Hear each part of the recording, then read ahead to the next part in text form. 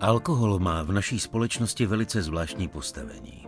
Pro mnohé je symbolem zábavy, dobré nálady, oslav, dokonce neodmyslitelná součást každodennosti.